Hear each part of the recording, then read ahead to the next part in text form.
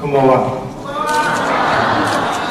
まあ、ご承知のように私は日本大好きでね、あの、いつも帰るときはもう自分の家に帰ってみたい気分がするんだが、帰って嬉しいもんじゃ。見どころおそらく私は思うんだけどさ、あ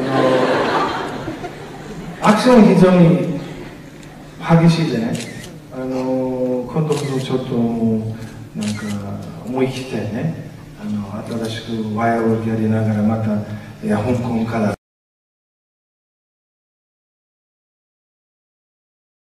本当最初からなんか特別な選手だと思ったね。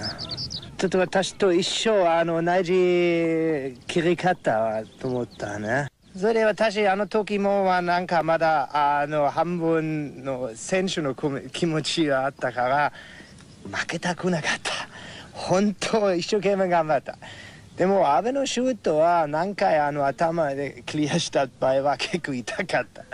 でも本当この子は絶対負けないと思ったね。あわ私の大阪の友達、大きにあ18年前に大阪に住んでいました。なんで？あ4ヶ月ぐらいそれで日本語が上手なの？すごいよね。やっぱりとってもスマートなのね、ここがね。あ練習したいんだよ。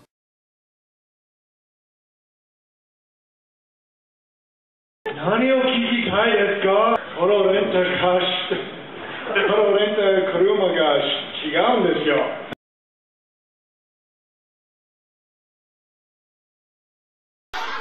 日本の皆さん、こんにちは。ダニエル・ラドクリフです。日本大好きです。日本の皆さん、こんにちは。僕はダニエル・ラクリフです。日本のファンは最高。